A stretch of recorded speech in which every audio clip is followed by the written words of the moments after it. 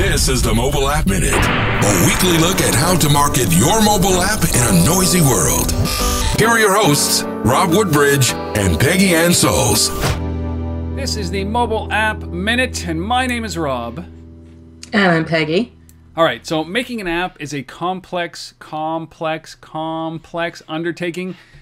What's even harder is making your app business successful. As we will show you in this series, what you are trying to do, the decisions you make will largely depend on your category of app, your target audience, and your monetization model. Yes, revenue is so important.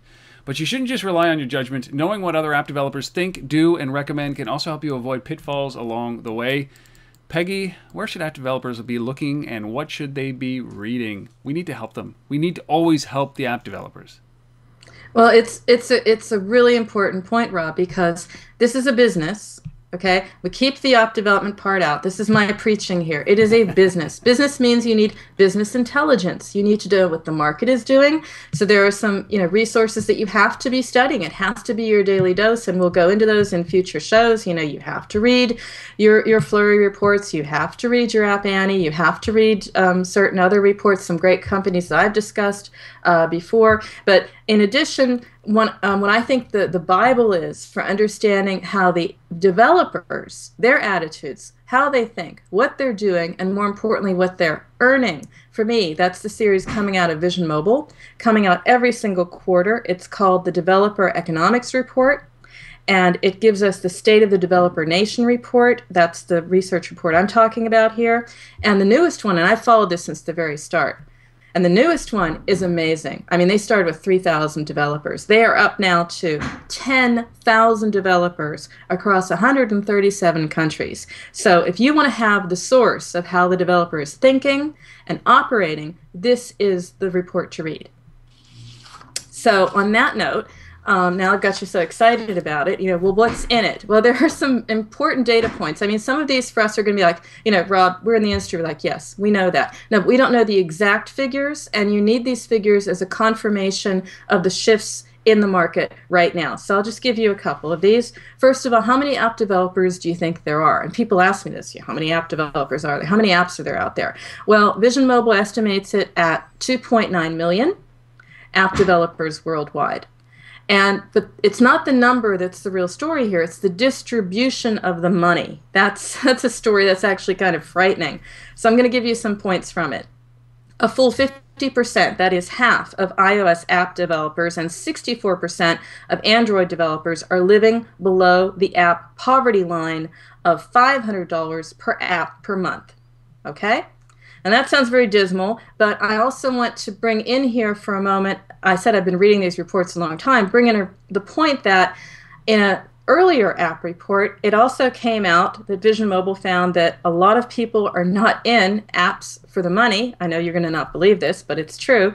But if you think about it, it's not their day job. So, you know, a full 53% or, you know, over half are doing this because they want to be creative, they want to be part of an interesting industry, or they just want to you know, bring that app idea to fruition. So keep that in mind. The fact that they're under the poverty level doesn't mean they're starving, they have other jobs. But still, nonetheless, it tells you how much money are they making. Um, of course, there are others at the other high end of the scale uh, making money.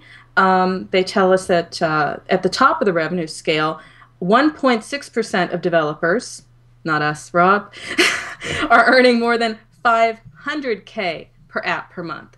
So that's a big difference. So with with these numbers, where's the opportunity for the developers? Where should they be focusing?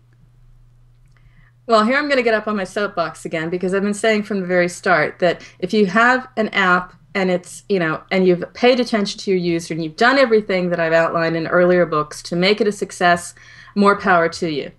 Unfortunately, not everyone has that. Um, you know, they make an app because they're just thinking it's something I like. Don't even think about the user. Those are sort of like, you know, that's the greatest way to to fail. That is a massive fail. So if you're not sure about what you have, but you have the abilities, I'm very bullish about the opportunity in the enterprise market because a full 20% of the of, of the of the the the solutions and services they have for the remote workers. Only 20% are at this point in time mobile friendly or mobilized. So do the math. That means there's 80% that need to be mobilized. So what does that mean for you? Well two things. You could of course go to IBM you know go to Salesforce go to SAP and say hey I want to I want to do an app and you know here's what I have or you work as a contract developer for companies such as, for example, Mubaloo, that have um, a structure where app developers work for them and then they work for the enterprise and give them what they need. But either way, I'm saying the enterprise opportunity is one to really take advantage of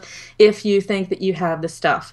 And if you do have the right stuff, again, our developer report from Vision Mobile tells us, and I just want to leave you with this thought, that 16% of developers who target enterprises are twice as likely to be earning over 5K, $5,000 per app per month, and almost three times more likely to earn more than 25K per app per month. In other words, the opportunity is there, and if you can tap into it, you can have a serious business and some serious income.